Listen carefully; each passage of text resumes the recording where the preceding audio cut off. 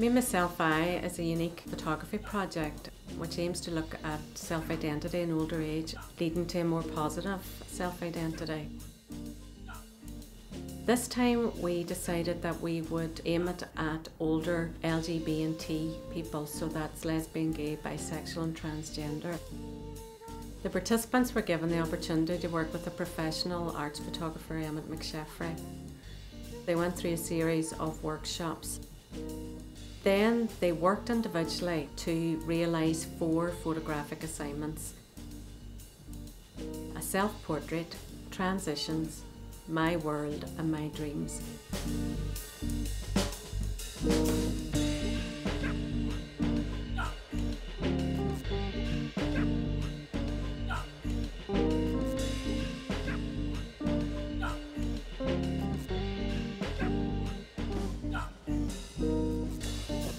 My theme um, uh, for my dreams is um, I've always thought I'd like to dance, to be a dancer. I think flamenco is beautiful. I love Indian dance as well. Um, I, I, love the, the, that whole different formations with the hands and the body. If I start really focusing on my dreams, things could happen. Towards the camera now. Brilliant.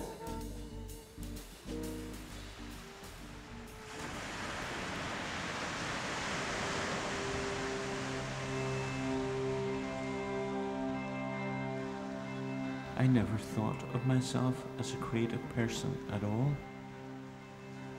The themes by chance were very th- important themes for a transgender person.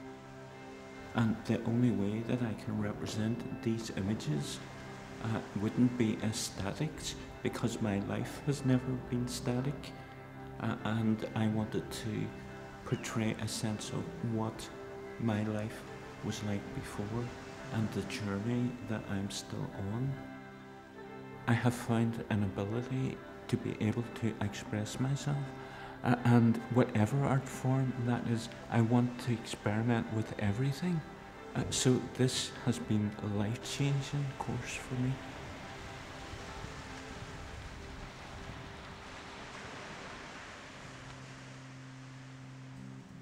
Seeing the end product in the Void Gallery on a wall for public display, I could see, and I hope everybody else, my members of my family, my sisters, my nephews, the actual pain there in a photograph of what I went through for 32 years of my life.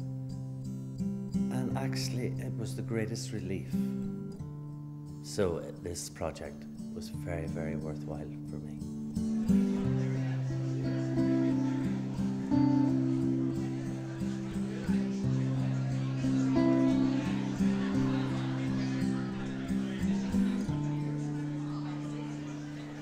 Thoroughly enjoyed uh, being part of this project.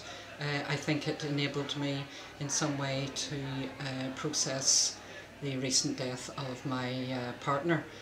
Uh, I think the whole uh, symbolism was very important in that. So, for example, in my transitions photograph, uh, I have a photograph of a multitude of types of shoes in some way that uh, symbolises for me always forward are good so that as I process her death and uh, I go forward into the rest of my life that uh, all paths are good. Uh, so that's what my last photograph of transitions uh, symbolises.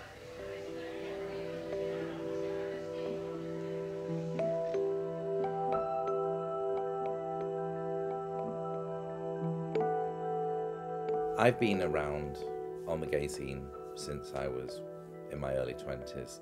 And once I got past 30, it became very obvious that when you are an older gay person, the scene really doesn't have a lot for you.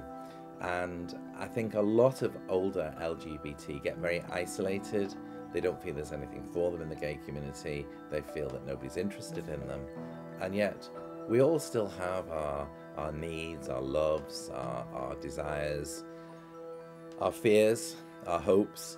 And I think this has been an excellent project to bring that out and bring that to the fore so that the world knows that there are older LGBT out there and uh, you know that they are wanted and needed in our community.